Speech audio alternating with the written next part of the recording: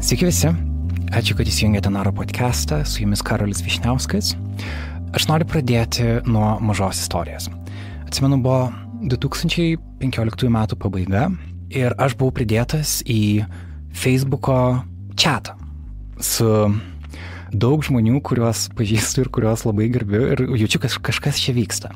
Ir tada supratau kontekstą, kad ką tik įvyko Atviros Lietuvos fondo 25-mečio minėjimo diskusija, kurios tikslas buvo tarsi įvertinti Lietuvos kaip demokratijos progresą per tos 25 metus, kadangi Atviros Lietuvos fondo veikla labai sutapo su Lietuvos nepriklausomybės atkūrimo visais metais. E, bet tame buvo nemažai um, tokio energijos, kuri atrodo, kad kažkas įvyko ir aš bandžiau sugaudyti, kas čia įvyko. Tada supratau, kad toje diskusijoje dalyvavo šeši žmonės ir visi jie buvo vyrai. Ir atrodė, kad tai, ne, tai kertasi su idėja, kur Lietuva turėtų eiti, na, Lietuvos demokratija turėtų eiti. Ir atsimenu, kad stebėjau tą veiklą ir, ir labai džiaugiausi, kuo jį išvirto po to, nes tai yra viena iš retų, sakyčiau, tokių pilietinių iniciatyvų Lietuvoje, kuri įvykdė labai daug punktų E, kurio galbūt kitom iniciatyvom nepavyksta. Tai yra, kitais metais buvo surinkta konferencija, kurioje buvo atstovavimi moterų balsai.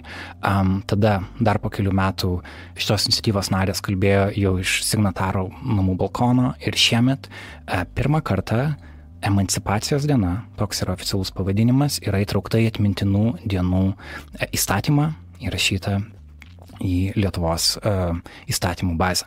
E, ir šiandien mes norim aptarti šitą procesą su žmonėmis, kurie buvo už jo, su dalimi žmonių, kurie buvo už jo. Aš noriu kiekvieną iš jūsų paprašyti prisistatyti trumpai, kad žmonės galėtų sujungti jūsų balsus su jūsų vardais ir taip pat labai padėkoti už tai, kad šiandien šis susitikimas vyksta.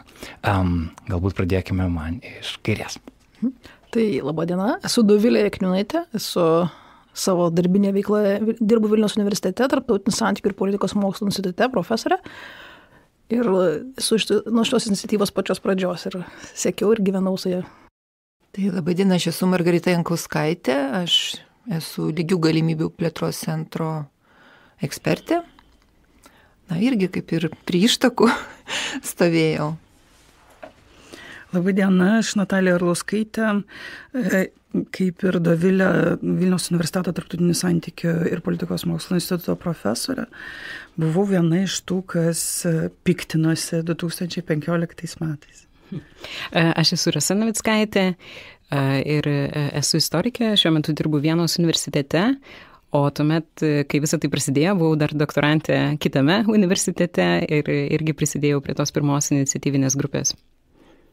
Čia klausytojams reikia paminėti, kad e, jūsų Jūs kaip autoris, jūs kaip pašnekovės, uh, Naro erdvėje buvo galima matyti ir šiandien pirmą kartą, kada jūs visas esate vienoje studijoje, ar mes galim turėti tokį pokalbį, kuris, kur jūsų uh, mintis papildo papildo bendrą pokalbį. Tai labai džiaugiuosi, kad tai pavyko e, padaryti. Taip pat norim padėkoti Juratį Užkaitį, kuri um, taip pat viena iš iniciatorių emancipacijos dienos ir taip pat šito pokalbio, kuri šiandien yra išvykusi, negali būti Vilniuje, tad negali prisijungti. Um, ir dar reiktų nepamiršti Laimos Kreivytės, kuri yra tokia kūrybinė jėga su visais na, tokiais kūrybiniais akcentais, sakykime, šitos dienos. Tai vat, e, linkėjimai jai. Linkėjimai jai ir. E, Indrė Širvinskaitė, kuri šiemet e, prisideda ir pernai prisidėjo prie renginio organizavimo. Ar nieko nepamirštame, nes čia iš tikrųjų žmonių truputį keitėsi per metus, ar ne, kurie vis prisidėdavo, bet paminėsime turbūt eigoje. Be abejo. Bet prieš einant prie dabarties, manau, verta prisiminti istoriją ir tokias istorinės ištakas, kodėl emancipacijos diena tapo e, nacionaliniu mastu įtvirtinta diena. Ir mes kalbame specifiškai apie vasario 17 dieną, ar ne? Kaip žinia, vasario 16 yra oficiali Lietuvos nepriklausomybės diena. 1918 metais signatarai ją pasirašė, bet vėlgi ta pati problema, kurią kalbėjom prieš tai. Visi signatarai buvo vyrai Ir gali atrodyti, kad tuo metu taip ir buvo, tarsi kiti laikai, galbūt moteris nedalyvavo politiniam gyvenime, bet tai nebūtų tiesa taip galvoti. Aš noriu, kad jūs klausytams pasidalintumėt, koks buvo tas istorinis kontekstas ir kodėl vasario 17 yra svarbi diena atminti.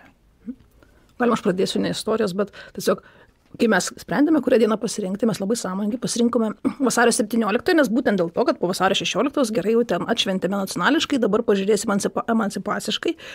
Tai šia, šia, šia prasme tai nebuvo kažkoks tai slaptas kėslas, bet paskui besigilindamas į istoriją mes atradom ir įdomesnių Lietuvos istorijos faktų.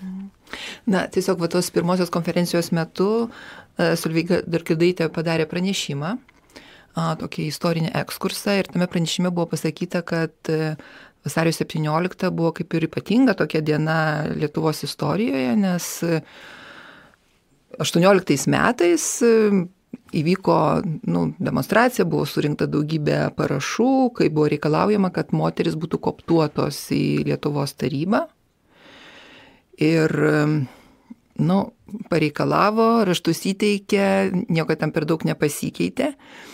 Bet, pavyzdžiui, man asmeniškai, kas labai užkabino, galbūt net nepabijočiau to žodžio, sukrėtė, bet tame Solveigos pranešime, e, kad jinai citavo, na, tas tuos argumentus, kokie argumentai buvo pateikti, kad moteris būtų įtrauktos į tarybą. Ir argumentai skambėjo taip, kad visų pirma, moteris sudaro didesnę pusę Lietuvos gyventojų.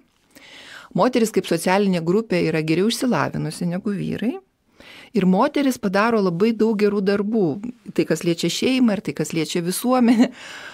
Ir aš sėdėjau, klausiau ir galvoju, Dieve, praėjau nu, šimtas metų, argumentacija nepasikeitė. Ir argumentacija nepasikeitė, na ir kontekstas nepasikeitė, kad mes vis, vis dar leidžiam savo daryti tokius nu, pa, pa, panelinės diskusijas arba, nežinau, kažkokius sprendimus priminėti, kur dalyvauja vien tik vyrai, nors va tos sąlygos yra visiškai tos pačios. Ir tada va kažkaip man viduje nusukilo tas jausmas, kad nu, reikia kažką tai daryti. Mes negalim taip vat, nuleisti rankų, reikia imtis kažkokios iniciatyvos.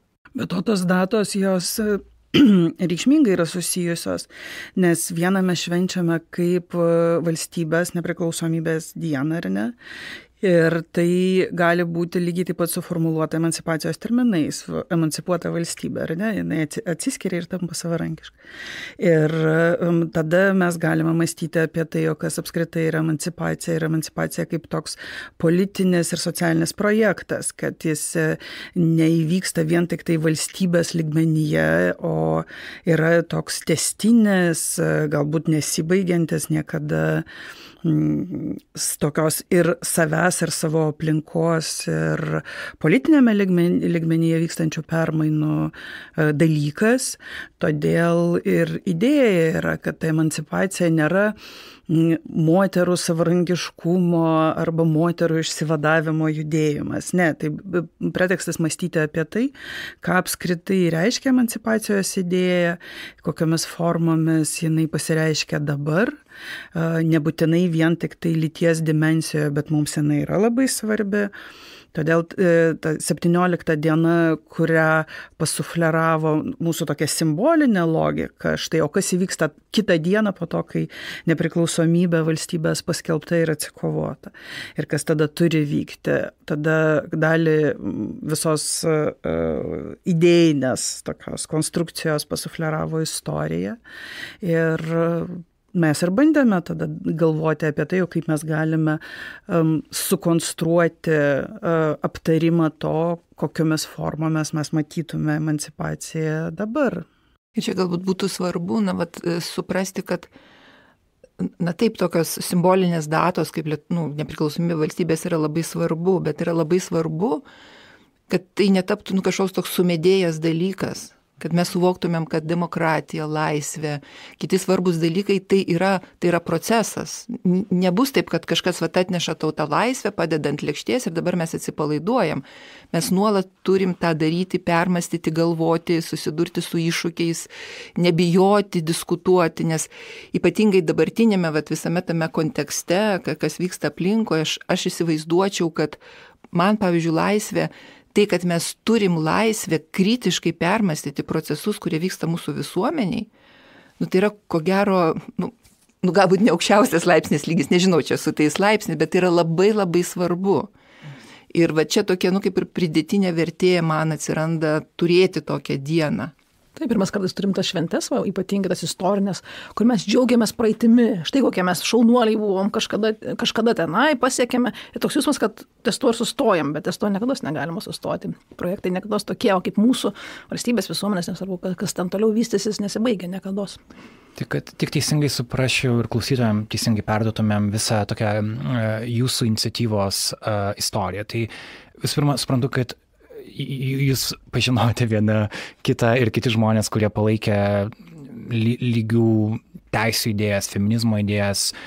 Mes žinom vieni apie kitus, aš skau pats buvau įdėtas tą patį čatą ir mačiau, kad kažkas pradeda vykti. Tai, e, bet tada jų tolesni darbai buvo tokie kaip iniciatyviniai grupiai, kaip, e, kurią iššūkė reakcija į tą diskusiją atviros Lietuvos fondo, ar ne? Taip, ir šitas pretekstas atrodo formalus, jis nėra toks formalus. Nes aš manau, kad mes ne tik e, tarpusavėje pažįstamos buvome ir bendradarbiavome ir draugystės ryšiai susijusios, bet mes ir su Liet atviros Lietuvos fondu buvome labai smarkiai susijusios. Kažkas gavo stipendijas, kažkas bendradarbiavo, dirbo galbūt tiesiogiai, kažką e, atviros Lietuvos fondas rėmė projektais. Aš manau, kad apskritai e, Lietuvoje humanitariniai ir socialiniai mokslai universitetuose be sąsajos su atviros Lietuvos fondu apskritai sunkiai suvokiami, tol kol jis gyvavo, bet ir ne tik tuo metu. Galbūt būtent dėl to, kad būtent fondo ribose įvyko ta vienvyrė diskusija, taip, taip ir palėtė, ar ne? Nes atrodo, gal yra vietų, kur tu tarsi tikiesi, kad gal taip ir bus. Bet čia tarsi buvo vieta, kur atrodė, kad gali būti kitaip. Jo, aš gal dar pridėčiau, kad būtent Atviros Lietuvos fondo dėka buvo išleisti pirmieji feministiniai leidiniai Lietuvoje nepriklausomoje. Tai daugiausia turbūt Karlos Gruodis iniciatyva, pavyzdžiui, mes turėjom ir Simone de Beauvoir antroji lytis išleista ir buvo Karlos Gruodis sudaryta knyga feminizmo ekskursai ir tai leido būtent Atviros Lietuvos fondas. E, tai turbūt ir buvo tas nusivylimas, kad e, kaip čia dabar nebepastebim tokių akivaizdžių dalykų, kad padarom tą vienvyrę diskusiją. Be to dar turbūt svarbu tai, kad ta diskusija vyko plačiai suvokiamame e, liberalizmo kontekste. Tai tarsi kaip tik tas apšviestasis liberalumo sparnas arba erdvė, kurioje nes, nesitikėjome, kad diskusija apie Lietuvos ateitį, e, nes diskusija buvo apie laisvę ir atvirumą pagal fondo pavadinimą, gali būti suformuota tokiu būdu. Na ir tada, žinoma, kyla labai daug klausimų, o visgi, o kokia ekspertinė bendruomenė per fondo veiklos metus susiformuoja, kas yra tos ekspertinės bendruomenės balsai, kokius, kokias ateities vizijas šitie balsai įvardyja ir buvo tiesiog labai jau akivaizdu, e, kad e, šitas vaizdas yra toli gražu ne visas, ne visas galbūt ir liberalizmo kontekste įsitelkia ir buvo akivaizdu, kad reikia kažkaip į tai sureaguoti. Ir atsirado tada tekstų ir spaudoje, žiniasklaidoje ir socialiniuose tinkluose, bet paaiškėjo, kad ir tekstų kažkaip vis e, negana ir negana. Na ir tada jau atsirado šitas formatas, kuris iš dalies jis reagavo, net scenografiškai reagavo į e, atviros Lietuvos fondo diskusiją, kad štai vat tuo metu buvo tokia... Ir mes devynės moteris susodinom. Paskutinės vakarienės ikonografija. Stalas ilgas, prie to stalo susėda svarbus žmonės ir jie aptarinėja svarbiausios mm. egzistencijos reikalus. Tai ta, pirmas renginys buvo labai panašus, tik tai žmonių buvo dar daugiau ir tie žmonės buvo moteris. Mhm. Ir man atrodo, dar yra svarbu tai, kad uh, na, vystant tą formatą, kažkaip labai akivaizdu pasidarė, kad yra svarbu neapsiriboti vien tik akademinę bendruomenę, nu, kas dažniausiai asocijuojasi su konferencijomis, kur žmonės ten, nežinau, diskutuoja savo, apie savo išvalgas, kažkokius tai akademinius interesus, bet yra svarbu matyti tą platesnį lauką. Ir iš esmės nuo pat pat pradžios tai buvo toks formatas, kuris suvienijo akademinę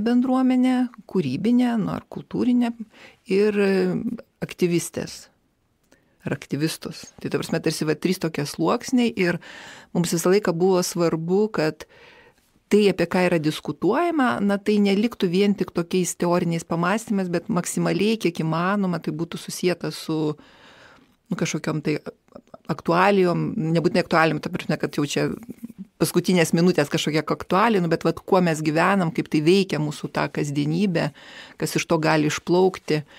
Tai manyčiau, kad va, tas aspektas jis yra taip pat labai svarbus, nes yra ta problema, kad dažnai skirtingi laukai tarsi egzistuoja patys savo ir trūksta tos energijos. Aš dar gal pridėčiau, kad atsispyrėme tuomet, aišku, nuo kritikos atviros Lietuvos fondo tai diskusijai. Ir dar prisimenu tą turbūt pirmą mūsų susitikimą pizzerijoje, kažkur tai Vokiečių gatvėje, su tokia šiek tiek pikta feministinė jėga. Tuomet kalbėjomės, ko čia imtis. Prisimenu tą žodį emancipacija, berots Laima Kryvytė būtent išmetė. Uh, Ir bet man atrodo, kad labai greitai pasidarė visas tas renginys, visa ta idėja, renginys, aišku, jau seniai ir pamirštas buvo tas atviros Lietuvos fondas, pasidarė viskas apie apskritai Lietuvos viešąją erdvę. Ir apie tai, kad tiesiog, kai, kai pavyzdžiui, žurnalistai ieško eksperto, ką nors pakomentuoti, tai dažniausiai būna ekspertas vyras.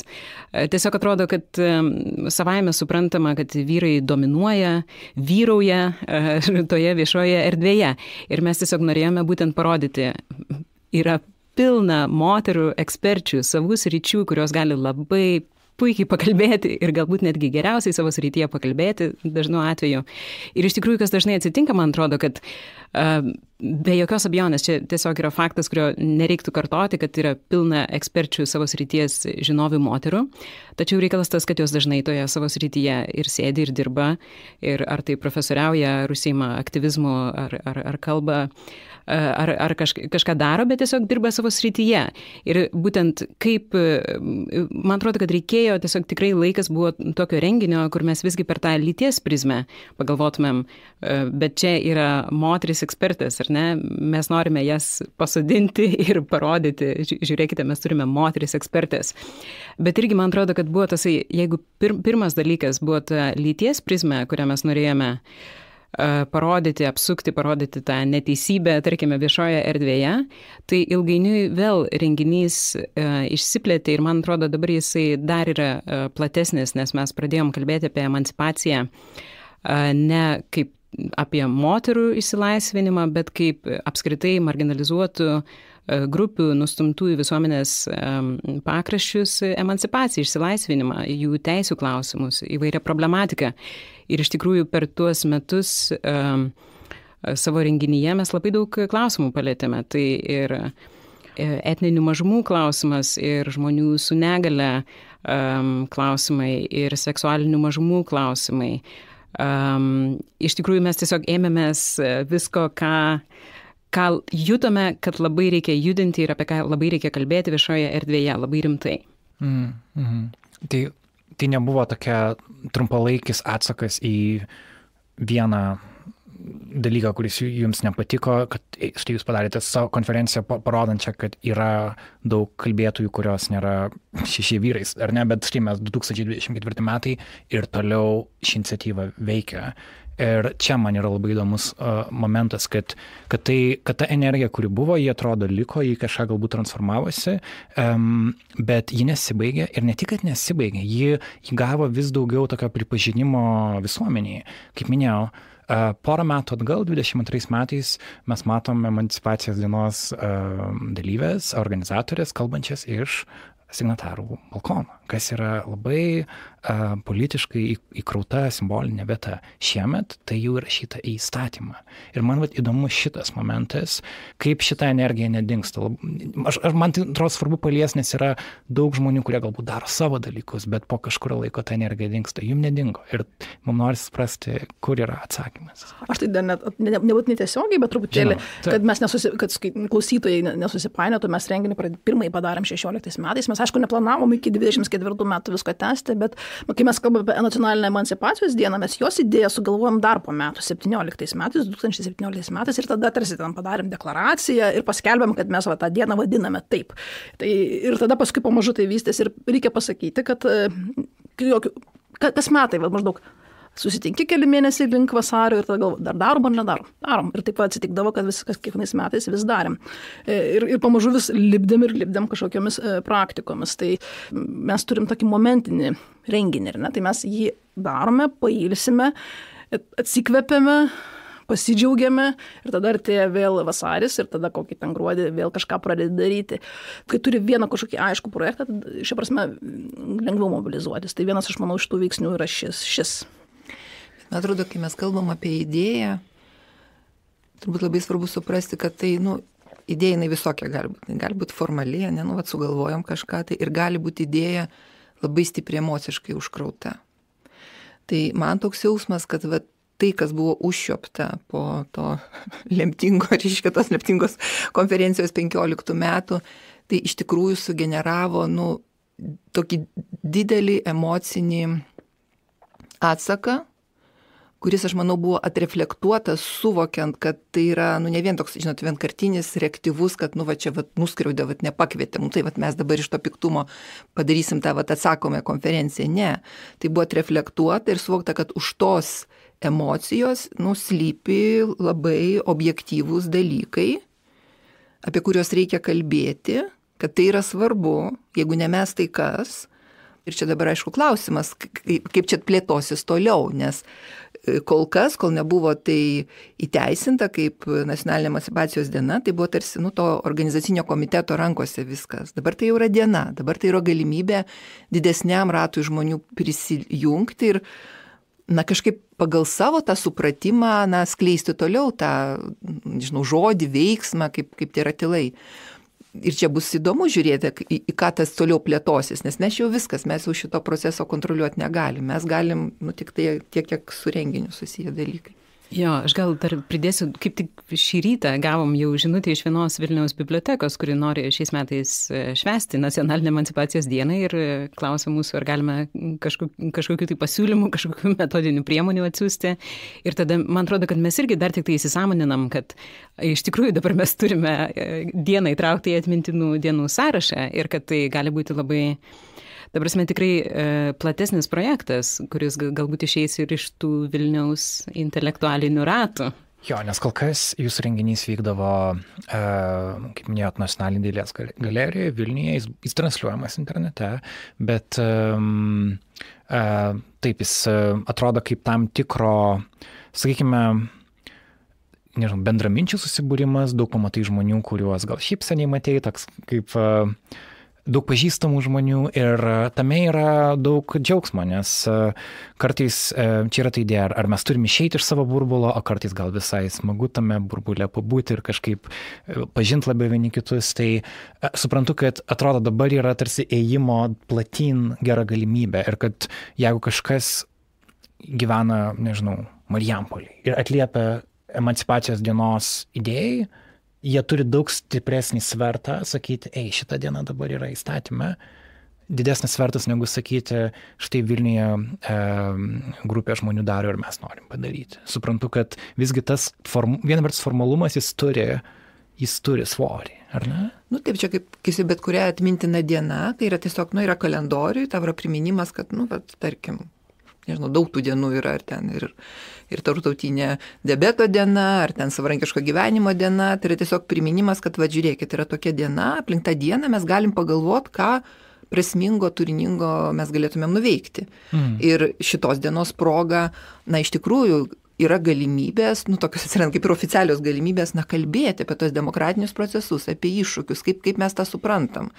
Nes aš, aš galvoju ypatingai, vad, nu, biblioteka ar ten kokios švietimo įstaigos, na tai kaip, kaip mes vat, ūkdom, sakykime, tą, tą jaunąją kartą, kad, nu, nežinau, tas fakelas būtų nešamas toliau. Tai galbūt ta diena tai ne, nebūtinai vien pasišnekėjimai, gal kažką galim ir padaryti tokio, nu nežinau, ja. tai kas yra susijęs su atskirties grupėm ar dar kažkokiais tai dalykais. Na čia fantazijos yra labai daug ir aš tikiu, kad žmonės tos fantazijos tikrai turės mes, mes galbūt net ir tiek sugalvoti negalim, kiek iniciatyvų galėtų atsirasti. Nes pati vasario 17, vėl grįžtant į istoriją, e, ką mes sužinojome konferencijoje, kad kas tada vyko Lietuvoje, ar ne, kad Kaune vyko moterų protestas dėl to, kad jos nebuvo įtrauktos į... Lietuvos tarybą, kuri pasirašė nepriklausomybės akto Taip. deklaraciją. Ir tada e, Lietuva tapo viena pirmųjų valstybių Europoje, kurioje moterys gavo teisę lygiavertiškai balsuoti, ar ne? Um, ir tai yra vienas iš kito išeinantys įvykiai. Tai, um, kitaip tariant, istorija rodo pavyzdžius, kaip galėtų būti. Ir dabar tarsi atviras laukas yra kažką, kažką su tuo daryti. Ir tik tai, kad mes šią informaciją daugelis pirmą kartą sužinojom, yra dėl to, kad jūsų konferencijoje buvo pranešėja, kurie apie tai papasakoja. Mhm. Teisingai. Ir man atrodo, čia dar svarbu suprasti, kad Žiūrėkit, kai mes kalbam apie tas ištukas, nu, ant, ant kieno pečių ir kaip mes čia stovim ir kur mes judam toliau, tai na tie žmonės, kuriem tą, nežinau, lyčių lygybės klausimai, emancipacijos klausimai galbūt jie nėra labai komfortiški, tai yra, yra ta tendencija pasakyti, kad, nu čia toks tai, vadžinot, atsinešta čia kažkas iš užsienio, čia gal mūsų ne visai su mūsų ištakom ir panašiai. Ne, pasižiūrėkit, tai yra mūsų ištakos. Lietuvos nepriklausomybė, Lietuvos valstybė buvo atkurta remiantis idėją, kad vyrai ir moteris lygiavertiškai turi prisidėti prie kūrimo politinis moterų aktyvumas jisai siekia dar 20-ojo amžiaus pradžią, tai tai ir yra mūsų ištakos. Ir kai mes nesekam šitom tradicijom, tai mes kaip tik išduodam, nu, išduodam tos, reiškia, nu, nežinau, kaip čia pavadinti, pirminius, reiškia, tos impulsus, apie ką visą tai buvo, tai yra mūsų tradicija. Mes tai turim tęsti ir mes turim jausti atsakomybę, kaip, nu, kaip sakau, perduoti tą estafetės lasdelę kitiem. Mane trikdo idėja metodinės priemonės. Jeigu dabar e, visos mokyklos pradės mums rašyti, o kaip čia mums atšvesti emancipacijos dieną ir ar jūs turite e, sąrašą, nežinau, veiklų, žaidimų, e, dar ko nors, tai nežinau, išsigi, išsigims jo, pavyzdžiui. Bet mes nerašysime. Protestų temas, pasufleruokite mums protestų temas. Tai man atrodo, kad geriausia proga tai yra apsidairyti ir pagalvoti, o kas čia svarbu mums mums, mūsų konkrečioje aplinkoje, mūsų konkrečioje situacijoje ir galbūt tai bus tai, apie ką mes niekada negalvojam. Jo, ir man atrodo, čia tada vat pratęsant Nataliją, ką pasakė, e, na, yra labai svarbus tas užauginti patiems principas. Va tai va kaip ir šita iniciatyva, va taip pat išaugo, nes Nu tai buvo jausmas, kad yra neteisybė, buvo noras kažką tai daryti, buvo daug kūrybinių paieškų, kaip tą galima padaryti. Ten pradžioj balkonas iš Naručio, Naručio viešbučio balkonas, paskui jau signatarų balkoną, paskui dar ten kažkokios tai akcijos. Nors, buvo pajungta ta kūryba tam, kad tas augalėlis būtų užaugintas čia ir dabar. Ir va čia, aš manau, ir yra tas va, raktinis atsakymas. Tai pagalvokime. Aš dar klausydama prisimenu, supratau dar vieną svarbų Aha. elementą, tai kad reakcija žmonės, nes žmonių ateidavo ir, ne, ir iš, jie, iš pradžių net nebuvo mūsų burbulas, ten, nes auditorija pakankamai pilna užsipildydavo nemaža ir ta energija, kurią gauni, vis laiką užsikrauni paskui tą energiją ilgam laikui ir, ir tai irgi pasilaiko, nes jau tik, kad nesau kalbi, ne, ne tiesiog čia tarpusavį išnekėsi, bet kažkur tai, na, ne, ne dideliam grupiai žmonių. Tai man atrodo, irgi tai irgi buvo tas palaikymas, nes maždaug žmo, kažkur metu netgi sutikdavai kažką pusiau pažįstamą, maždaug maždaug, tai ar darysit? Ir tada gal maždaug, nu taip, taip lik ir netvirtai, o paskui supranti, nu taip darysit. Tai tas va tos reakcijos ir kad supratimas, kad nesaušnėki, kad nesaučia kažkokia susivokusi, bet kažkam reikia tą, tą girdėti. Jo, ir tas energijos mainai, kad kurkime kartu kurkime, pasižiūrėkime, vat, ko, ko mūsų tai bendruomenį, nežinau, bibliotekoje, miestui, ko reikia, apie ką tai galėtų būti, kaip mes kartu tą sukūrėm, turim ir, ir turim kontaktą su aplinka. Tai vat, aš manyčiau, čia vat, toks gal atsakymas galėtų būti, mm. kad nebijokit drąsiai, nu, eiti tą linkmę, bet turėdami nu, tą idėją, dėl vardan ko darom, nu, vat, vat, dėl tos emancipacijos įtraukumo, demokratijos procesų. Aš turiu dabar tokią vieną draugę iš studijų laikų, jin irgi nėra iš mūsų rato ir jin man sako, prie kavos sustikus, man tai jau vasario 17 pasidarė svarbesnė negu vasario 16. Ir jin, žodžiu, bando kiekvienais metais mėgina būtinai ateiti į tą renginį. Ir aš nemanau ir mes tikrai nebandom teikti, kad vasario 17 yra svarbesnė, nes man atrodo visiems yra savaime suprantama, kad be bet tautinio suvereniteto, nacionalinio, atsiprašau, suvereniteto, ta prasme, neįmanoma iš viso kalbėti apie jokias tai žmogaus teisės ar, ar ten kažkokį tai demokratijos kūrimą ir panašiai. Bet man atrodo, kad su mūsų renginiu mes bandom irgi įdėkti ir kažkaip tai padaryti labiau priimtiną ir tokią savaime suprantamą tą idėją, būtent, kad taip, valstybės nepriklausomybė, mūsų laisvė yra nepaprastai svarbus dalykas, bet tai yra pirmas žingsnis. Ir čia jau irgi kalbėjo kolegės apie tai, kad jo, mes norim kalbėti toliau apie tai, gerai, mes turim valstybę, ką mes dabar darom su ją. Ar, ar šitoje valstybėje visos žmonių grupės jaučiasi, kad turi visas savo teisės, ar visos yra patenkintos, matomos. Žodžiu, ir man atrodo, kad irgi reikia suprasti, kad aišku, mūsų, pavyzdžiui, istoriniai um, istoriniam pasakojime, istorinių tyrimų tradicijai mes labai esame užsifiksavę būtent ties tom temomis, mes labai daug kalbam būtent apie um, nacionalinį klausimą ir mūsų valstybės istoriją, ar ne mūsų valstybės išsilaisvinimo nuo uh, nuo Rusijos imperijos, nuo Sovietų sąjungos, ar ne, tuos, tuos klausimus, jie yra tarsi svarbiausi istoriškai. Tačiau yra ir kiti klausimai ir reikia juos irgi žiūrėti ir apie juos kalbėti. Ir mes irgi Lietuvoje turime tradiciją kalbėti būtent apie žmogaus teisų klausimus, apie įvairių e, žmonių grupių išsilaisvinimo, visuomenės e, lygybės, žmogaus teisų klausimus. Tarkime, Aš pati dabar gilinuosi į istoriją tokio vieno e, lietuvių disidento, antisovietinio disidento, gana gerai žinomo Helsinkio grupės įkūrėjo Viktoro Petkaus istoriją. Ir jisai man yra, yra toksai pavyzdys, uh, žmogaus, kuris dar sovietiniais laikais, giliam 80-metį kalbėjo labai aiškiai apie žmogaus teisės ir apie tarptautinius susitarimus, kuriuos valstybė turi gerbti. Ir man irgi tie jo žodžiai, kad ne žmogus turi tarnauti valstybei, bet valstybė turi tarnauti žmogui. Man jie visą laiką aidi ausise ir aš noriu juos sakyti per kiekvieną tą vasario 17 dieną, nes taip tai yra tai yra mūsų pagrindinė idėja, kad taip mes turime valstybę. Ką mes dabar, kaip skirtingos žmonių grupės, su skirtingais interesais, ką mes dabar su jie darome, kaip mes siekime geros valstybės, geros visuomenės. Nu jo, tai ta nepriklausomybė svarbu ir man tai iš toks vaizdinys, kad yra, nu taip kaip gera tokia konstrukcija, toks tvirtas karkasas jis yra svarbus.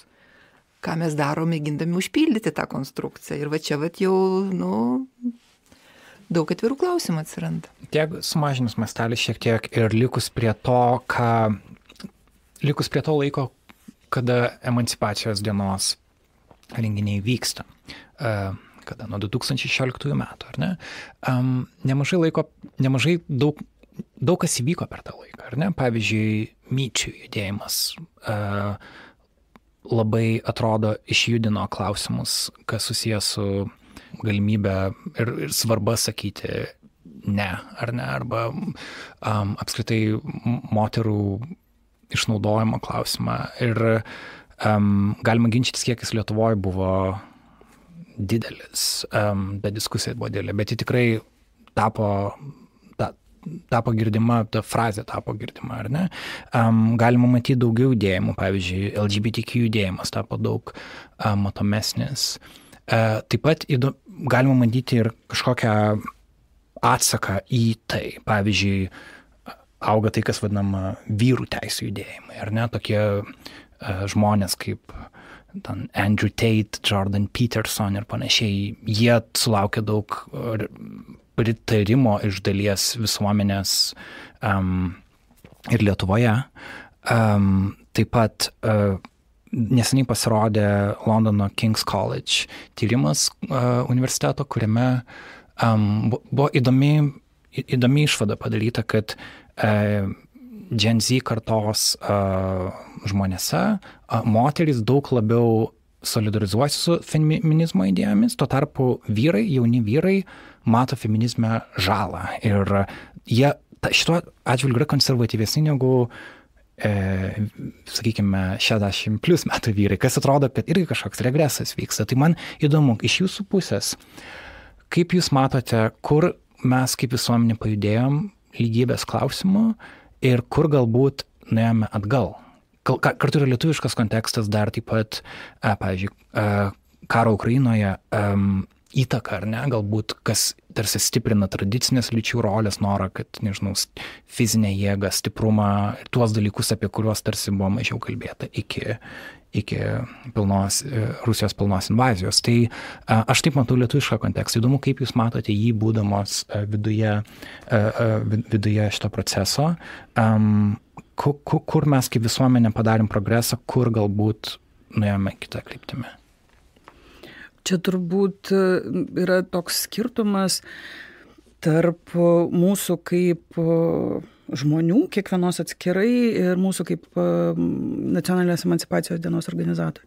Mes kiekvienais metais e, diskutuojame apie tai, kiek mūsų kuriama programa turi būti reaktyvi, ta prasme, reaguojanti į e, nūdieną, į kontekstą.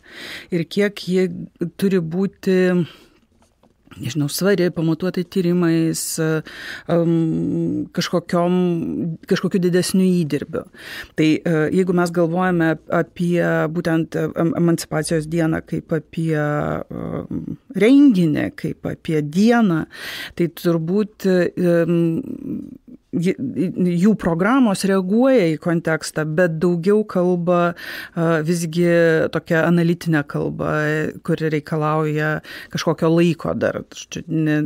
Diskusijos būna, bet jos retai būna vat, momentinės į reaguojančios momentą. O tada jau visai kitas klausimas, koks čia mūsų kontekstas. Bet aš gal ir galvodama e, šitą pakankamai niūrų vaizdą, kurį Karolis čia mums nupiešė. Ir iš tikrųjų mes, kai žiūrime 24 metai, dar jeigu dar žiūrim, pagalvojame apie geopolitiką, politinius procesus, e, ta, to įkvėpimo daug nėra. Bet kita vertus, jeigu pažiūri va, taip nuo 16 metų ir supranti, kad, pavyzdžiui, žodis feminizmas tikrai tam mažiau tampa. Jis, aišku, taip yra labai kontroversiškas tarp skirtingų grupių žmonių, bet jis pla, pla, plačiau pripažįstamas kaip savaime suprantama tokia saviidentifikacinė prisipažinimo kategorija, kad daug paprasčiau, pavyzdžiui, net ir žiniasklaidoje yra atkreipti dėmesį, kad nėra čia savaime suprantama, kad tokiam ir tokiam renginiai, na, čia, aišku, tos all mail panelus, vien, viena vyrės e, diskusijos, tai čia toksai labai paprastas, sakyčiau, tiesmukas klausimas, bet mes ten turim ir e, reprezentacijos klausimai vyriausybėje ir bendrai, kokios problemas mes kalbame, to vis daugėja. Iš tikrųjų daugėja mūsų visuomenėje dėl to daugėja, aišku, kontroversijos, daugėja ir diskusijų, bet šiuo metu aš nematau kaip negatyviaus dalyko, nes tada yra permastoma, kai yra tylima arba kai yra tiesiog vyksta diskusijos mažai mažoje grupėje, tai yra, tai yra tik viena dalis, tai yra ma ma mažai svarbi dalis, o kai tai išsiveržia kažkokias tais aptarimus, tai jau yra, jau yra posūkis, jau yra, reiškia, yra geresnis, stipresnis, didesnis susidūrimas ir taip vyksta kova, labai akivaizdu vyksta kova tarp skirtingų vertybių, tarp suvokimo, kas čia mums svarbu ir kas nesvarbu ir kam kelia grėsmę, nes akivaizdu, kad pats savaime, pavyzdžiui, lygybės ir laisvės idėjos turbūt žmogus suformulavusi abstrakčiai, bet kuriam. Sakytų taip. Bet kai pradeda galvoti iš savo pozicijos, tada staga, staga pradeda mąstyti, kad kažkieno sėkmė, kažkieno o, iš tikrųjų išsivadavimas iš tų kažkokių tai apribojimų yra pradama suvokti kaip nesėkmė mano arba kad mano nesėkmė yra dėl to, o ne dėl kažkokių kitų priežasčių. Ir tai tada mes turime šitas visas įtampas, kurios dalis jų ateina, iš tikrųjų, net nebūtinai pas mus jos yra, bet jos ateina iš vakarų ir prisimamos kaip iš vakarų, žiūrint iš kitų erdvių, kitokių diskusijų, ir jos prisimamos kaip mūsų lietuviškos kančios, nors tai nebūtinai taip yra. Čia mes galim kalbėti ir apie medijų iššūkius. Tai žodžiu, va, taip toks mano pradinis toks pamastymas ir būtų, kad aš matau gerą ten, tendenciją, iš tikrųjų daug, ir daug, pavyzdžiui, mes Natalija dėstome feminizmo kursą, įvadinį kursą universitete. Ir vis daugiau ateina merginų, merginų dažniausiai ateina, bet ir vaikinų daugėja, tiesą sakant, kurios jau visiškai aiškiai pasako, aš esu feministė, bet aš nežinau, neturiu žodžio. O anksčiau būdavo maždaug, ką aš atėjau tiesiog pasiklausyti, sužinoti apie ką. Tai, tai tas, tas kokybinis posūkis jaučiasi. O kad konfliktai yra, tai matau, vėlgi, reikia gyventi su jais. Pats žodis tarsi prarado tą tokią... Vis labiau na, praranda. Tai... Nėra baisu jį garsiai ištarti ir gal kažkokios kritikos iš to nebesusi arba kažkokia. Arba nebijoti tos, tos kritikos ir apginti tą žodį. Man atrodo, vis daugiau žmonių tai gali padaryti. Mm, mm. Ir feminizmą, ir galim sakyti tam tikrą, ne tik feminizmą, nes bendrai idėja apie, apie lygybę, apie mm. teisingumą, apie reprezentacijos skirtingų žmonių svarbą irgi, tai, tai irgi labiau drąsiau priimama ir suprantama, kodėl to reikia ir ką tai padaro. Mm. Man asmeniškai atrodo, kad tas ilgą laiką Lietuvoje buvęs toks uh, pasipriešinimas žodžiui feminizmas ir iš tikrųjų supratimas feminizmo kaip tokio purvino žodžio yra iš tikrųjų sovietmečio palikimas ir sovietmečio diskurso apie tai, kad čia yra štai buržuazinis feminizmas, kažkoks tai... Pūvančios labai... buržuazijos. Pūvančių vakarų ne, ne, produktas. Ne, ne, aš, aš, aš žinau, kad mes nesutinkam su Davilė dažniausiai dėl to, kas yra sovietmečio palikimas. Aš da, matau jo nemažai. Ir e, apskritai jo e, būtent tų vakarų, supūvusių vakarų tenai e, seksualinės revoliucijos, e, padarinys kažkokiu tai neteisingai suprantastos emancipacijos ir taip toliau. Ir man atrodo, kad e, žmonės tiesiog labai patys neįsisamoninę labai persėmė šituo e, supratimu, kad čia tai, kažkas tai purvino ir mums netinkamo ir man atrodo, kad pagaliau tai keičiasi su kartomis. Ir kad dabar ateina tasai e, Tai mes dabar supanašėjom su vakarais iš tikrųjų ir vakaruose dabar feminizmas ne tik, kad nėra purvina žodis, bet yra labai populiarus žodis, netgi sakyčiau per daug jau nuvalkytas, kurį naudojama tiesiog kaip reklaminį žodį, kaip marketingo žodį, kuris tarsi praranda e, vos ne esmę būtent to iš, iš, išsilaisvinimo ir politinės kovos. Tai man atrodo, kad mes iš tikrųjų dabar turime galimybę tą žodį pasimti ir kažką su juo naujo padaryti. Ir gal dar, jeigu galiu apie tą sovietinę praeitį, sovietinį palikimą iš savo perspektyvos pakalbėti, tai man atrodo, kad dar ką mes ir čia gali kolegės irgi nesutikti, bet man atrodo vienas dalykas, kurį daro mūsų vasario 17, tai pasiūlo ir tokią alternatyvę naują dieną kovo 8. Mhm. Nežinau, ar jūs pritarsite, bet man atrodo, kad ir kovo 8 yra suteršta visokių labai neigiamų konotacijų. Mes žinom, kad kovo 8 ilgą laiką buvo diena, kuomet reikdavo atnešti tulpę kolegijai ar, ar žmonai. Ir man atrodo, kad mes norime įdėti politinį, kritinį turinį į emancipacijos, į moterų išsilaisvinimo klausimą į feminizmą. Ir tiesiog man atrodo, kad su vasario 17-ąją mes tarsi turėjome laisvės įdėti naują turinį. Mm Um, nežinau, ką kolegės galvoja apie tai. Nes mes labai dažnai tokiais esminiais klausimais nesikalbam.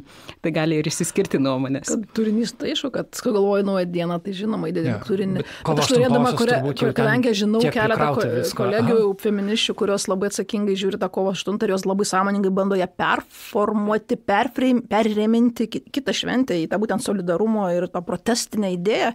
Tai dėl to aš noriu išdėti išnašą, kad tai nebūt, šiaip gal nebūtinai verta mąstyti apie alternatyvas, nes ne, tų, šven, tų minėtinų, tų diskusijų, diskutuotinų dienų ne, nebus per daug niekada. Labiau, kad visgi, pripažinkime, emancipacija nėra tik apie moterų emancipaciją, o kovo 8 visgi yra tai labai aiškiai nukreipta į konkretų šios žmonių grupės e, klausimą. Tai šia prasme, sakyčiau, neformuokim kaip alternatyvą, bet pa, papildymą ir, ir priminimą. Ir labai taip gražiai gaunasi trys savaitės, gaunasi skirtumas ir tada mes tarsi pradedam, jos perima, jos turi labai gražių idėjų apie šo, šokio gatvėje svarbą ir, ir tikiuosi, kad tas, tie, tas, tas toliau vyks irgi. Tai... Iš tiesų, ta kovo 8 tai irgi yra ką veikti, nes čia buvo aproprijuota diena nes buvo pamiršta, kad yra tarptautinė moterų solidarumo diena, diena minėtina, kada reikia prisiminti, kokiu iššūkiu vis dar yra. Tai taip, čia mes turim atkovoti tą teritoriją ir aš tai irgi kažkaip galvočiau, kad čia viens kitam netrukdo, e, skirtingais kampais, jo, nes čia tiek visko reikia padaryti, kad net ir tų dviejų dienų yra per mažai, jų galėtų būti daugiau. Bet to, kai mm, mes galvojame apie mm, emancipacijos dieną ir kuriame mm, įvairiausias diskusijų programas, mes visgi kalbame ne vien apie lytį. Ir toli gražu ne vien apie lytį. Ir jau buvo paminėta, kad ir e, neįgaliųjų e, klausimai, ir ekologijos, ir dirbtinio intelekto, ir kas tik tai norime iš tikrųjų. Ir jeigu lytis, tai irgi lytis tokia, vat, nebūtinai akademiškai kaip kategorija ir kaip jinai veikia socialinėme gyvenime, Bet e, vienas iš svarbių dalykų, ir aš taip kaip tik šiandien iš ryto, kai ruošiausi mūsų pokalbiui, pažiūrėjau dar programas ir aš pagalvojau, kad kaip įdomiai, ne visos temos, kur, apie kurias mes kalbėjome, ta, buvo tokia dalis didesnio judėjimo kažkokio. Kažkokios temos buvo arba mums pačioms vienkartinės, arba m, tiesiog retesnės. Bet vat, yra viena tema, kuri eina beveik per visus mūsų metus. Tai motinystė ir būtent šita moterų gyvenimo dalis. Ir būtent toks labai kritiškas žvilgsnis į motinystę, jo toks demistifikavimas ir vaikų auginimas vis, visokiamis kitokiomis formomis. Ir man atrodo, kad čia irgi yra toks labai svarbus dalykas, jeigu mes galvojame, kas atsitiko gero. Nes apie demografiją nuolat kalbama kaip apie problemą, ar ne? Ir, jinai, ir ją linkstama spręsti tokiamis labai tradicionalistinėmis priemonėmis. O štai kalbėjimas apie motinystę, kuris įsitvirtino ir ne tik mūsų, bet ir mūsų pastangomis, jis, jo labai daug kalbėjimų apie modernę motinystę. Motinystę, kurioje motina visai nedeivė ir ne, nevergia, o visai kitaip tai vyksta. Tai man atrodo, kad tai vienas iš dalykų, kuris apskritai labai pasikeitęs aplinkui mus, kai toks klimatas pasikeitęs. Tai kai, kai vis sunkiau bus galvoti, pavyzdžiui, apie demografinės problemas per moterų kūno išnaudojimą, per galvojimą apie jį kaip indą, kuris teikia naujus kūnus. Ir man atrodo, kad štai šita dalis yra ir bendros tendencijos toks elementas ir kažką tokio galbūt svarbaus žmonės, tyrėjos, kurias mes kvietėme, papasakojo ir apie save, mm. ir apie savo tyrimus. Čia labai įdomu. Man norisi išgirsti dar daugiau pavyzdžių, kur jūs matote tą pokytis gali būti tik tai idėjinis pokytis, nes po, pokyčiai visuomenė vyksta labai lietai ir juos sunku kažkaip užšiopti, kada jau čia tas pokytis įvyko, ar ne, kur, kur pradžia, kur pabaiga. Bet tiesiog iš, man įdomu iš jūsų kiekvienos išgirsti, kur jūs matote tą tikrai galbūt pozityves tendencijas, nes aš tikrai, beruoždama šitą klausimą, maniau, kad kalbu kažkaip nešališkai, bet kai jį garsiai ištariau, supratau, kad tikrai kažkokį tokį tamsų vaizdą piešiu. Ir um, kartu manau, kad jis ne visai toks yra, kad šiaip jau um, atrodo mes einam iš principo tikrai daugiau lygiai linkme, bet man įdomus ir tokie specifiniai pjūviai. Um, įdomu, ką, ką, ką dar tokio specifiško galbūt galėtumėte išskirti. Man atrodo, kad um, vienas dalykas, kurį pastebiu, um, tai man atrodo yra vis mažėjanti baime kalbėti apie daugelį dalykų, kurie buvo didžiulis tabu iki šiol. Ir tai ta pati motinystė ir įvairiausi su kūnu susiję klausimai ir iš tikrųjų daug klausimų, kad ir e, tavo paties paminėtas MeToo, ar ne, pavyzdžiui, seks, seksualinio smurto klausimas, tai buvo visiškas tabu ilgiausią laiką ir atėjo toksai laikas pagaliau, judėjimas, kuris leidžia moterim kalbėti apie savo patirtis ir besti pirštu į tą, e, kuris yra kaltas dėl seksualinio smurto, o ne kažkaip e, kaltinti save. Ar ne? Tai, žodžiu, tokie dalykai jie atsiranda ir mes labai gerai matome tarp mūsų kalbėtojų, ta prasme, labai daug klausimų, kurie labai neseniai buvo tabu, iš tikrųjų liečiame mūsų renginiai. Ir man atrodo dar vienas toks gal platesnis pasvarstymas galėtų būti, kad kalbant apie feminizmo raidą ar net tas skirtingas feminizmo bangas, tai man atrodo, kad dabar, kai jaunos moteris ir jauni žmonės, nebūtinai moteris ateina į feminizmą, jau ateina į dabartinį tam tikrą feminizmą, tą, tą vadinamąjį gal trečiosios bangos, kuris yra intersekcionalinis, nežinau kaip čia padėkit kolegės, kaip lietuviškai pavadinti. Aš vadinu tai saveikiniu, per sąveiką su kitais pažeidžiamumais atsiskleidžiantis feminizmas. Ir būtent tas sąveikinis feminizmas. Um, ir man atrodo, kad mūsų renginiai labai tai yra akivaizdu, kad mums net į galvą netėjo, kad mes galėtumėm kalbėti apie moteris ir viskas, ir tokia apibrėžti kažkokią tai vienatinę tapatybę, kad mes visuomet supratome nuo pat pradžių, kad mes turėsime kalbėti apie daugybę atskirties kategorijų ir apie tai, kaip jos tarpusavėje veikia. Ir daugybė mūsų tų prezentacijų ir kalba apie tai, ta prasme, ką reiškia būti E, neheteroseksualia moterimi arba trans moterimi, tarkime, praeitais metais turėjome tokių aspektų, taip, bet ir daugybė kitų dalykų, e, tarkime, kaip skirtingose, pavyzdžiui, profesinėse sferose pasireiškia būtent ta moterų priespauda, ar ne? Ar, ar meno kūrybos srityje, ar akademinėje srityje, ar politikos srityje. Visuomet tie priespaudos atskirties elementai jie skirsis, nes mes labai sudėtingus gyvenimus gyvenam ir niekuomet nebūna taip, kad aš tiesiog esu kažkaip prispausta kaip moteris. Mes turime daugybę tuo pačiu metu egzistuojančių tapatybių. Ir man atrodo, mūsų renginyje būtent labai tai pasireiškia. Tai kartais atrodo, kodėl mes čia kalbam apie kažkokį visai kitą klausimą, bet jis nėra atskirtas nuo, nuo feminizmo tas klausimas. Taip, dėl to tai yra emancipacijos diena, nėra, nežinau, feminizmo diena. Būtent, taip. Mhm. O galvojant apie temas, nu, kurios, kurias mes kalbėjome, bet kurios, man atrodo, paskui e, jaučiasi tas e, pokytis, tai, manau, netgi net, net, trys tokie elementai, neįsiplenčiant.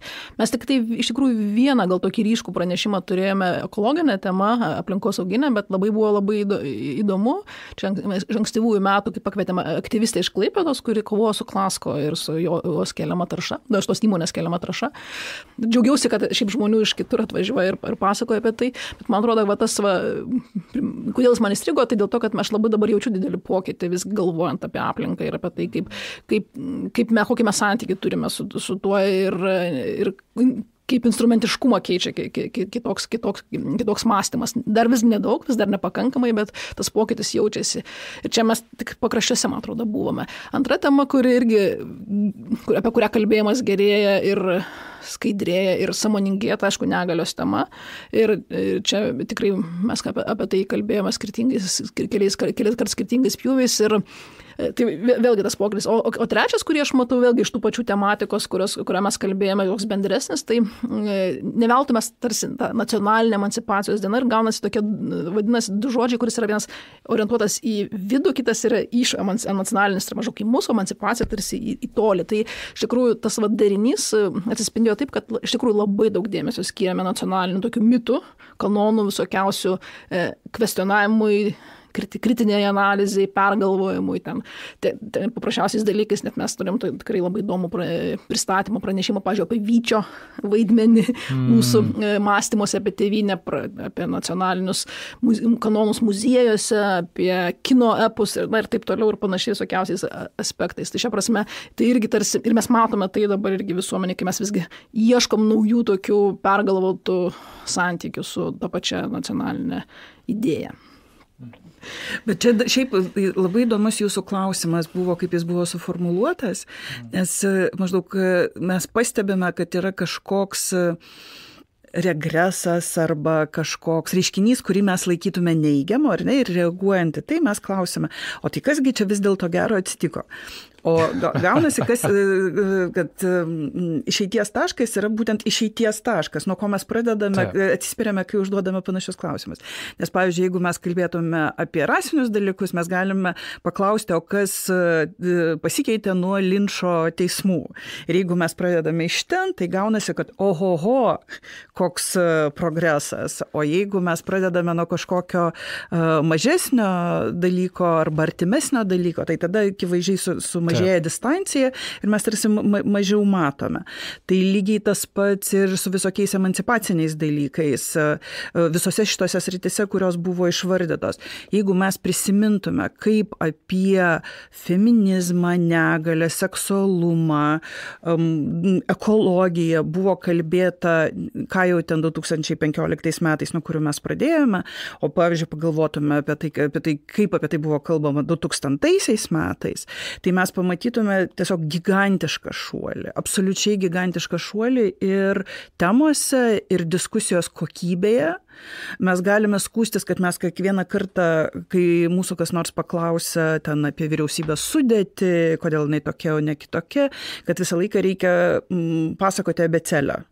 Ar, arba ką reiškia reprezentacija, arba ką reiškia atsitiktinis santykis, arba ką reiškia profesionalumas, arba ką reiškia ekspertizės ir lyties santykis. Nu, jie jie iš tikrųjų yra beceliniai, jau būtų gerai neaptarinėti.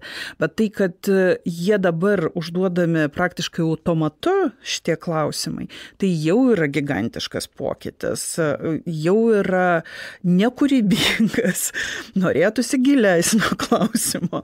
Bet e, tai, kad automatizmai pasikeitė ir tonas pasikeitė, man atrodo, kad tai iš principo didžiulis šuolis.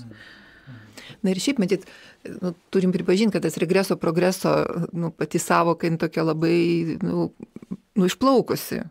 Ta prasme, kad vis tiek mes turime reikalą su socialiniam sąveikom. Ir ta pažanga, nu, kaip ten mes be pašnekėtume, jinai, jinai nevyksta tiesiniu būdu. Tai visą laiką yra dinamika, yra kažkoks tai bangavimas, yra įvairios grupės, kurios turi savo interesų ir jos mėgina tos interesus ginti. Ir, ir tarkim, vat, net ir tas paminėtas, nu, kaip man asmeniškai liūdėsi keliantis, reiškia, tas vyrų teisų judėjimas, nu, at kaip į tą pasižiūrėti. Nes aš įsivaizduočiau, kad jeigu tokio kirpimo žmonės nejaustų kažkokios tai permainos ir nejaustų, kad vat, jų tam status quo, tom privilegijom ir visam kitam kyla pavojus, tai nu, jie nesitelktų jokius judėjimus. Vadinasi, yra padaryta nemažai, kad vat, jų tas toksai stabilumas yra išmuštas iš, iš pokojų. Antra vertus, aš manau, kad į tuos vyrų judėjimus taip pat reikia žiūrėti e, platesniam kontekste ir kaip egzistuojanti va, ta neoliberali kapitalistinė sistema, kaip daug, daugybė vyrų jinai padaro labai pažeidžiamais nes jie viena vertus, nu, kaip ir turi tą mitą, tą svajonę, va, atitikti tą, nu, to tikro, nu, to kabutėse, ne, to tikro vyro kažkokius idealus, o ištinka gyvenimas ir tu matai, kad, nu, vad, nesigauna būti ir turtingu, ir galingu, ir, ir, žodžiu, visais ten aspektais, o esi labai pažeidžiamas. Uh, nu ir tada tos reakcijos sukyla, tai prieš ką mes atsisukam, nu tai atsisukam prieš tos, kurie dar, dar yra labiau paraštėje. Tai, tai čia yra tokie, na, sudėtingi, kompleksiški dalykai. Ir čia matyt, nu, sunku būtų pasakyti, kad čia viena, vienareikšmiškai čia progresas, regresas, bet tai yra tiesiog tarpusavį, na, susiję momentai ir nu, čia kaip ir yra tas priešybių vienybės tas e, dalykas, kad jeigu iš anos pusės neiškiltų kažkokie, nu, pasipriešinimai, pasipiktinimai, tai ir mūsų pusėje nebūtų galimybės sutelkti jėgas, labiau ieškoti kažkokių tai argumentų, ir, ir spręsti tos klausimus, juos labiau pamatyti, ne? nes mes pamatome, kai įvyksta tas susidūrimas kažkokiu tai pozicijų, nes iki tol mes galbūt sėdime net nepagalvojam, kad va tokių va aspektų dar galėtumėm panagrinėti savo, savo buvimą. Ir net su tom, atsiprašau, bet aš vis prie to paties, apie vienavyrės diskusijas. Aš manau, kad kiekviena iš mūsų matėme arba skaitėme, kaip pasikeitė juokavimas apie tai. Na, pavyzdžiui, žmogus, kuris sukviečia diskusiją kokią nors svarbę temą, pavyzdžiui, Seime ateities komitete ir ten staiga mes pamatome, kad sėdi vėl vien ekspertai vyrai, bet žmogus būtinai pajokauja, nu, va čia mūsų tokia sudėtis dabar jau mažai priimta. Nejaukumas atsiranda. Nejaukumas atsiranda. Bet vat, mes tęsime toliau mm, mūsų, Tradicijas. mūsų svarbų pokalbį. Ir tai, kad atsiranda tas vat, elementas, kad atmatyti jau nebeįmanoma. Mm. Tau šiaip gali būti net ir komfortiška tokioje aplinkoje. Iš, iš principo, tai žmonės, kuriuos tu nori matyti aplinkui, tu nebejoji jų kompetenciją, bet kartu nebeįmanoma atmatyti uh, vaizdo įtrūkio tokio e, ne, neakivaizdaus. Ir man atrodo, kad tai irgi mūsų tokioje visoje bendroje uh, vaizduotėje pasikeitęs dalykas, kad kai kurie dalykai um, matosi net tada, kai jie nėra parodomi. Mm. Jo, arba kai girdi tas, tas, tas pačias diskusijas, kai girdi ne, ne tiek pajokavimą, bet kiek sąmoningą ilgą paaiškinimą, kodėl atsitiko taip, kaip atsitiko. Nes kadangi aš dalyvauju kaip saugumo disk, politikos arba politikos mokslo diskusijose, ten daugiau dominuoja vyrų ir man tikrai tenka, ne kartą teko girdėti, maždaug mes tikrai stengiamės, mes tik, bet jų mažai, jos visos užimtos.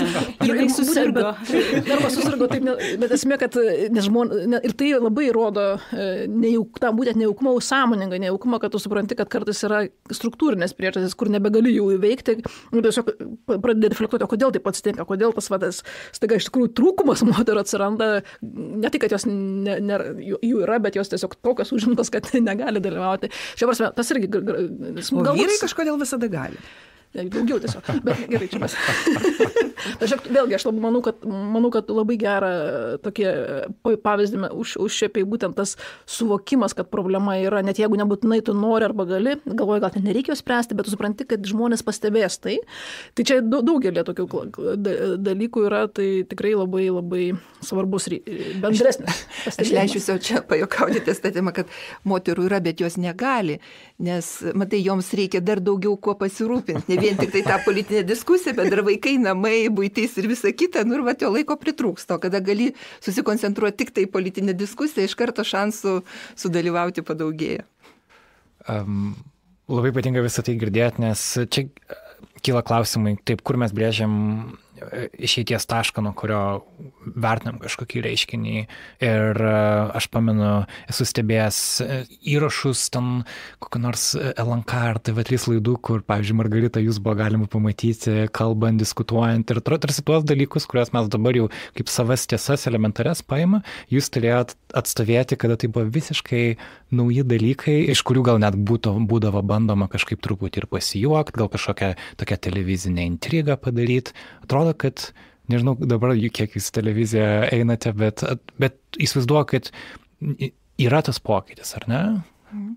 Na tai, nu, aš vis laikėčiau, jau visiems nusibodau, bet cituodama, tai man asmeniškai tai pokytis labai aiškiai pasimatė tada, kai žurnalistai pakvietę, nu ar ten arba atėjo interviu paimti, ar pakvietę kažkur pas, pakalbėti feminizmo tema, nustojo užduoti klausimą man asmeniškai, kokią traumą vaikystėje aš patyriau, kad kalbu feministinėmis temomis. Tai bet kai jau nustojo to klausti ir labiau tai raudavosi kažkokių įžvalgų, gal statistikos, gal kažkokių pamastymų, aš supratau, kad nu, čia jau totaliai esminis... O jie taip drąsiai. O kada tai vyko? E, nu, vat, man sunku pasakyti, kada tai vyko, bet galiu pasakyti, kad kai 95 metais aš kaip ir coming outinau ir, ir viešai buvo pasakyta, kad aš esu feministė, nu tiesiog tiesiog, nu, eilė stovėjo, imti interviu ir pasiaiškinti. Nu, toks įspūdis, kad jiems buvo įdomu ateiti, pasižiūrėti ir pašnekėti su tuo padaru, kuris save vadina feministė. Ir, nu, man toks jausmas po pokalbį būdavo, atrodo, nu, kad gal jie tikisi kokią uodegą gal pamatyti, kažkokius ragelius pamatyti, nu, kažką tai tokio. Bet paskui, nu, aš nežinau, gal po kokių nu dabar sunku pasakyti, 5, 7, 8, na 10 metų ir jau tada aš pradėjau pastebėt, kad nu va viskas jau kažkaip šitas klausimas nebedomina, jo, jau, jau pasikeitė tie dalykai. Gal yra toks jausmas, kad visuomenėje mes tos pokyčius jaučiame, mes juos jaučiam bendroje atmosferai, ką dabar minėjot, kad negali praslysti lengvai su dalim dalykų, kuriuos gal seniau galėdavai. Bet atrodo, jie neperina į patį į tokį įstatymų lygmenį, galbūt tokios labiausiai matomos valdžios lygmenį. Tarkim, pavyzdžiui, Seime yra tam tikros iniciatyvos, kuris atrodo tiesiog niekaip nevyks. Tarkim, ta pati Stambulo konvencijos ratifikavimas, ar ne? Atrodo, daug šalių aplink mus e, priemė, viskas buvo tvarkoje, nepavyksta, ar ne? Arba Pavyzdžiui, um, partnerystė, ar ne? Ką jau kalbėti apie santoką tarp LGBTQ žmonių, atrodo Latvija, Estija eina tuo keliu, visuomenė jau kaip ir mat, niekam, tai, na, ta kažkoks tabu nuo temos tikrai labai nuimtas, bent jau tam tikram lygmenį.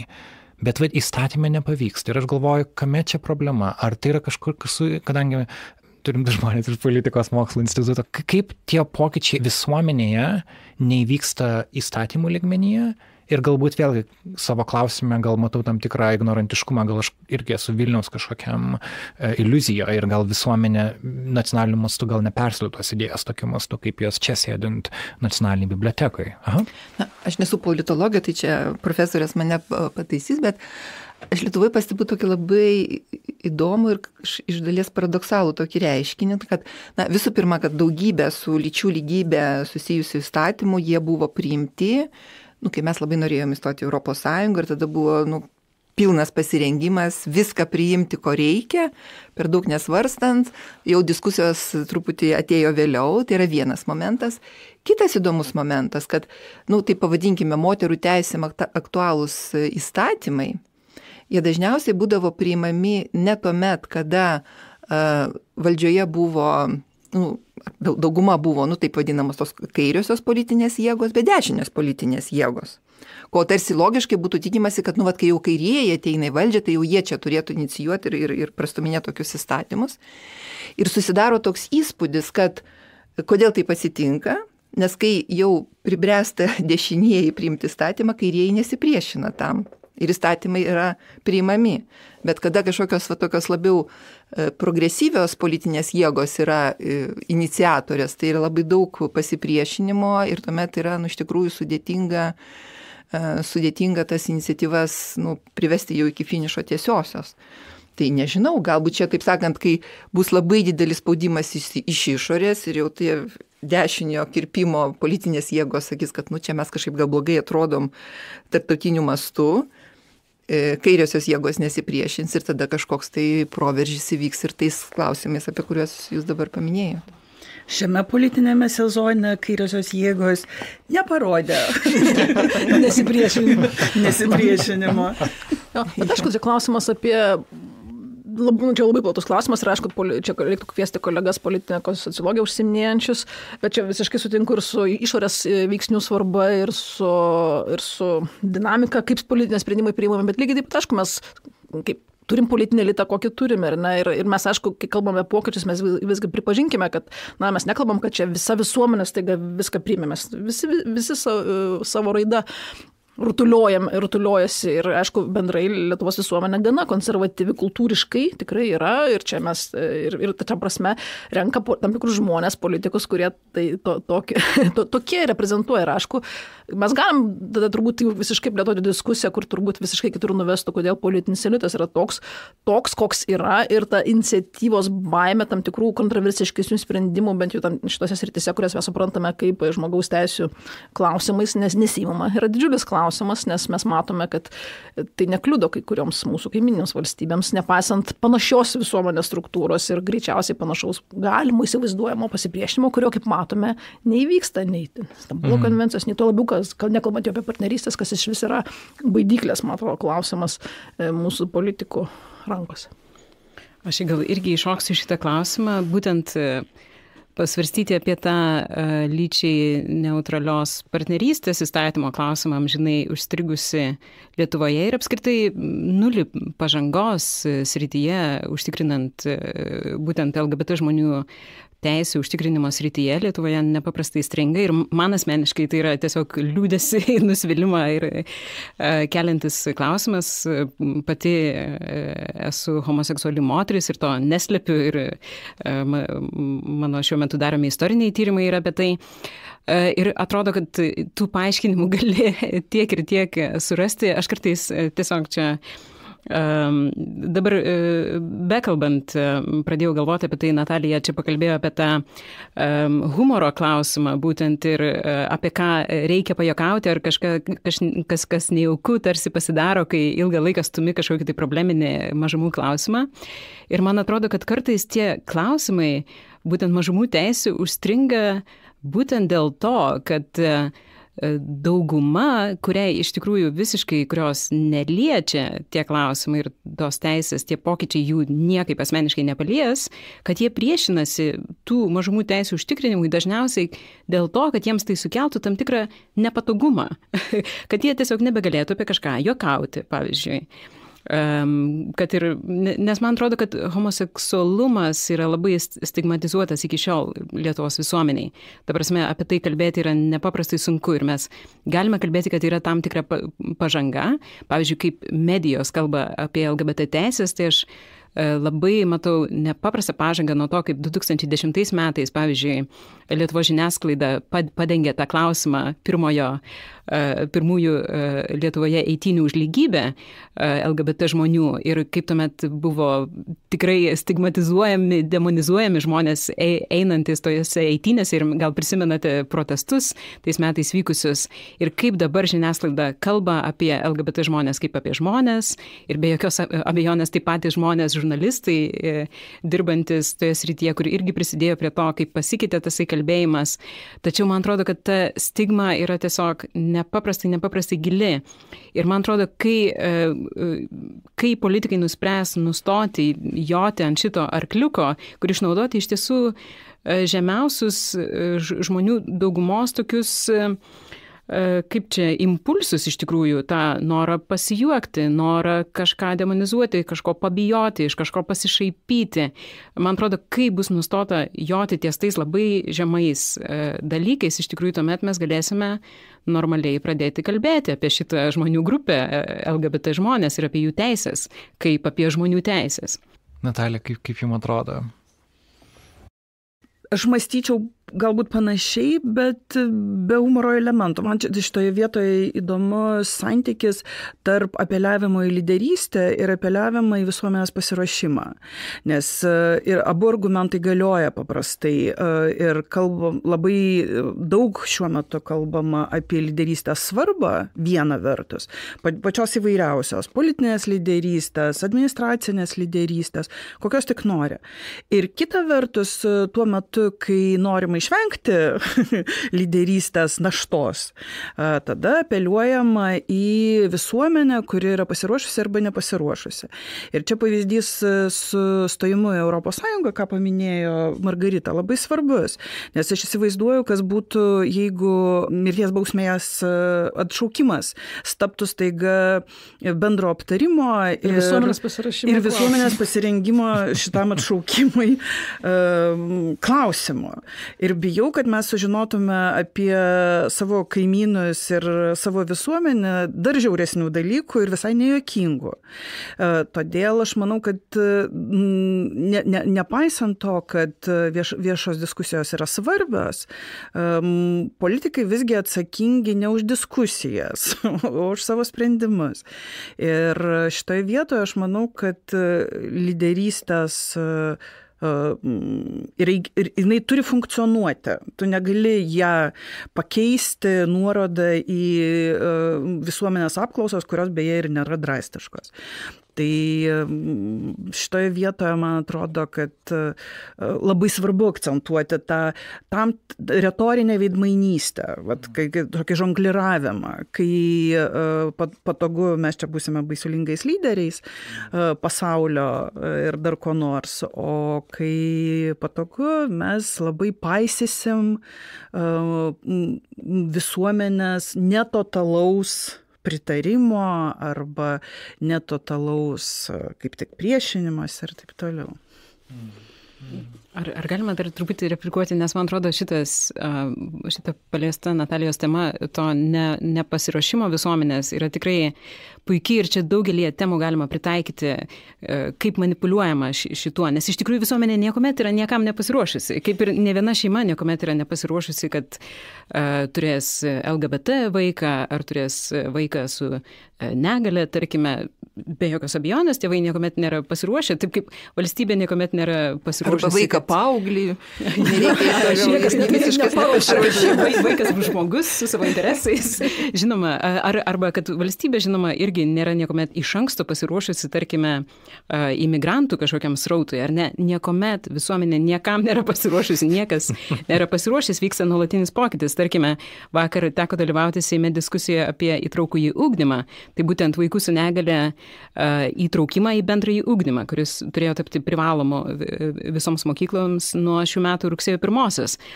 Tačiau vėlgi argumentuojant tuo, E, būtent mokyklos yra nepasiruošusios, visuomenė yra nepasiruošusi, mėginama tai nukelti.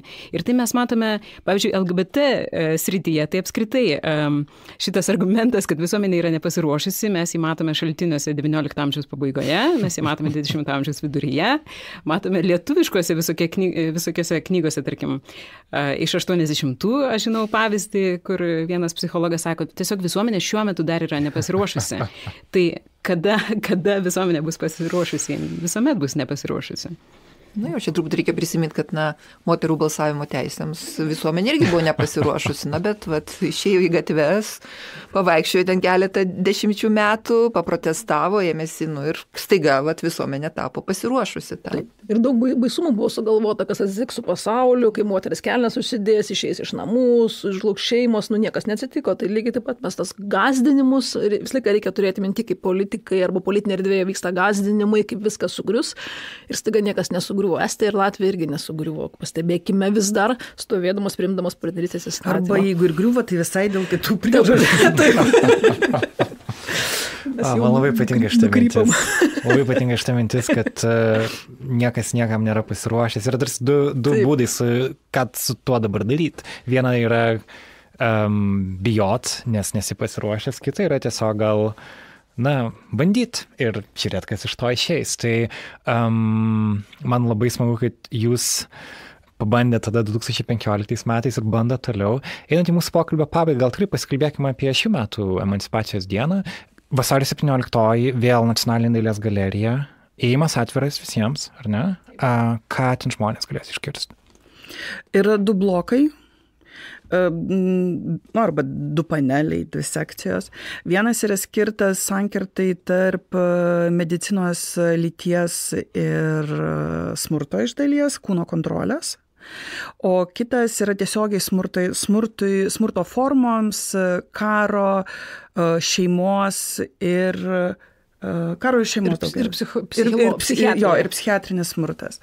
Tai ten ne visur bus kalbama tiesiogiai apie smurtą, bet e, e, vis vien tai yra tokia daugiau mažiau gyja, kaip žinojimas e, tampa prievarta tam tikras, pavyzdžiui, apie seksualumą arba litiškumą, kaip ir, ir šia prasme ir psichiatrinis žinojimas, kaip tampa prievartos forma, arba kaip smurtas vaizduojamas ir kaip tai susijęs su lytimi, arba kaip smurtauja skirtingos lyties žmonės, karo, pavyzdžiui, pavyzdžiui, kontekste. Žodžiu, ne, ne visiškai vien tiesmukai tiesiogiai apie, apie smurtą, bet di, didžioji dalis e, pokalbio suksis vienokiu ar kitokiu būdu apie fizinę ir episteminį smurtą. Ja, šią prasme, tarsi, kartu tokiu va šito renginiu, tarsi mes lik ir liekame prie tų pažįstamų temų, bet kartu norim na, parodyti, kad na, skirtingais kampų tas, tas kritinis, nes emancipacijos kartu ir kritinis jų žiūrėjimas labai smarkiai yra, tas kritinis žiūrėjimas, na, galimas jis vis, visai kaip pažiūrėti, per, pakreipti ir tas, tas, tas, tas smurtas, nors skamba smurtiškai, žiauriai, bet kartu, aišku, jis, nuo jo mes negalim pabėgti nei tokiam perkeltinė prasme, nei labai dėja, labai tiesioginė, kuri yra iš dalies ir šalia mūsų, bet kartu jo mes girdim daugiau ten ir Izraelio teritorijoje, ir kitose pasaulio taškuose.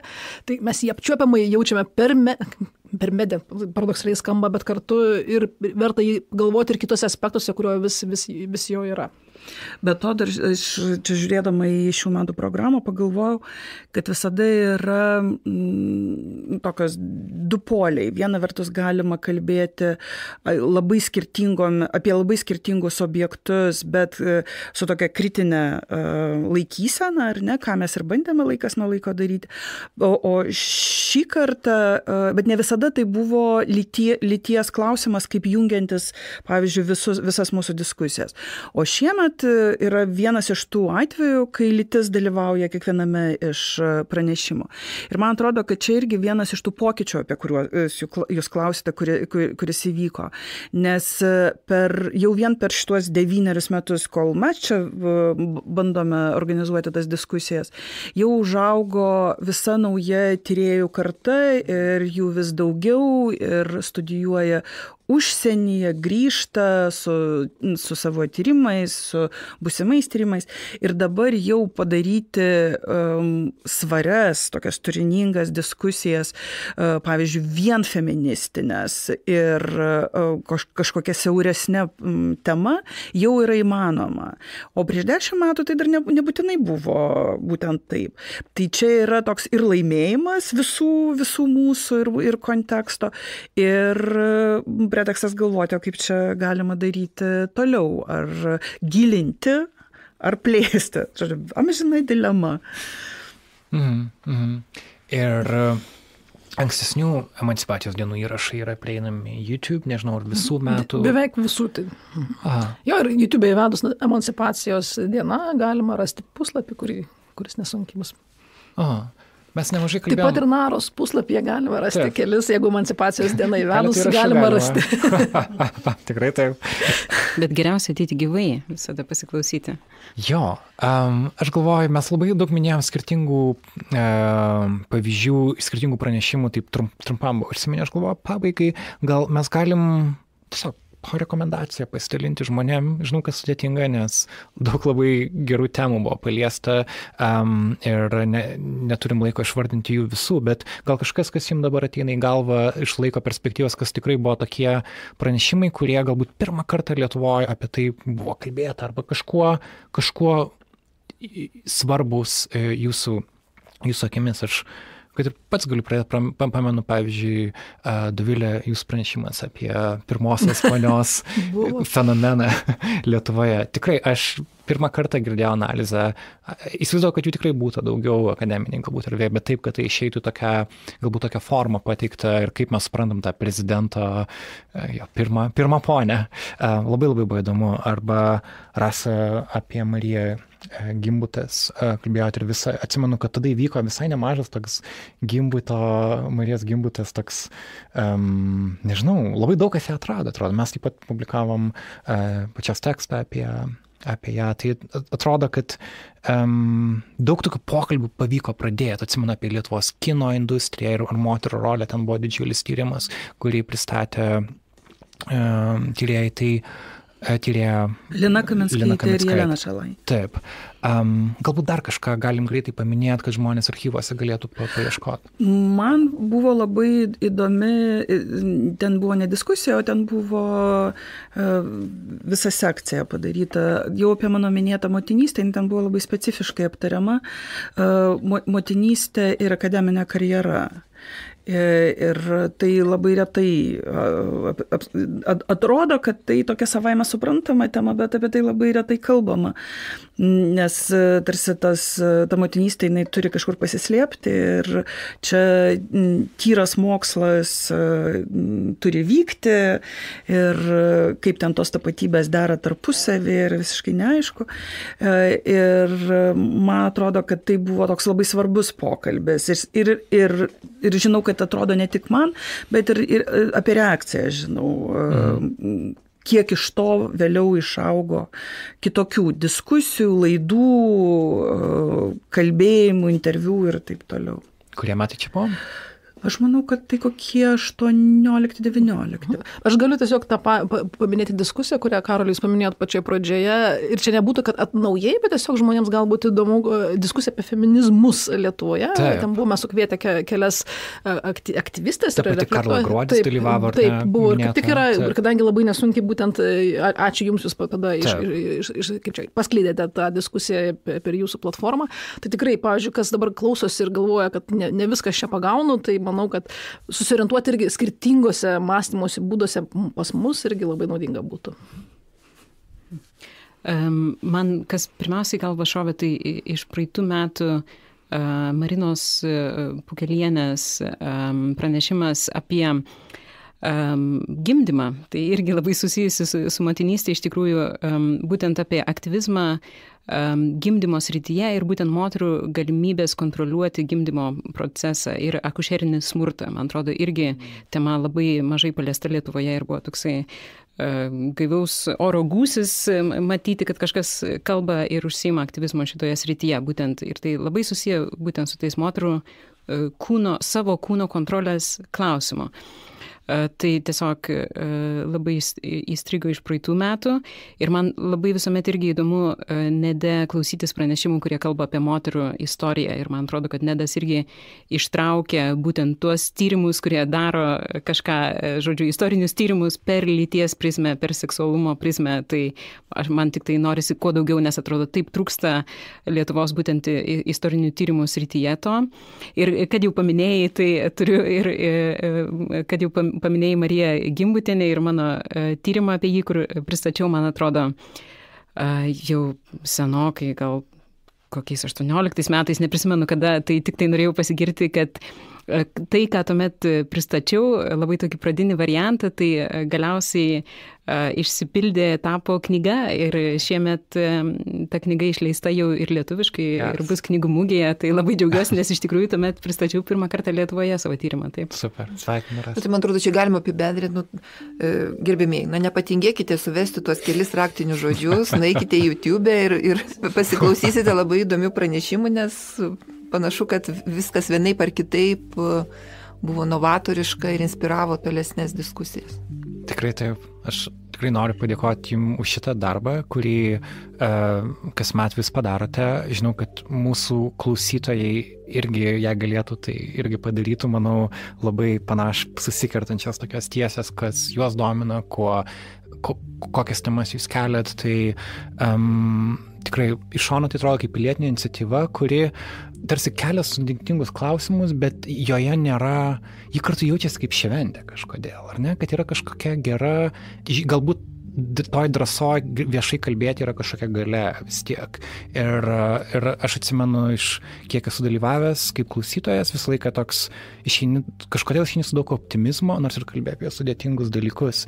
Tas kažkoks polikis tame ir kiek žmonių tai traukia. Tai uh, noriu už jį padėkoti ir noriu palinkėti sėkmės tęsiant jį toliau ir padėkoti taip pat už pokalbį šiandien. Ačiū. Ačiū. Ačiū. Klausytams priminsiu, kad kalbėjome su Natalija Arlauskaitė, Rusana Vitskaitė, Margarita Jankauskaitė ir Dovilė Jakniūnaitė. Jūs jas galite pažinti iš skirtingų formatų, kurio, kuriuose jos dirba um, taip pat ir Nara ribose, buvę kaip autorės ir pašnekovės, bet šiandien mes kalbėjom emancipacijos dienos kontekste. Vasario 17-ąją šiemet pirmą kartą tai yra nacionalinė atmintinių dienų įstatymė įrašyta diena. Um, noriu padėkoti mūsų garso režisieriai Kati Pitoft, um, kuri taip pat yra įrašęs ir keletą emancipacijos dienos diskusijų. Um, noriu padėkoti Martino Mažydo bibliotekai, kurie suteikia mums erdvę uh, kalbėtis ir turėti gerą įrašą. Ir taip pat ačiū mūsų muzikos kompozitoriui Martynui Gailiui ir taip pat ačiū mūsų klausytojams, kurie mus palaiko per Contribui platformą contribui.com slash nara. Galite ten prisijungti ir palaikyti narą žurnalistiką. Mano vardas yra Karolis Višniauskas. Iki.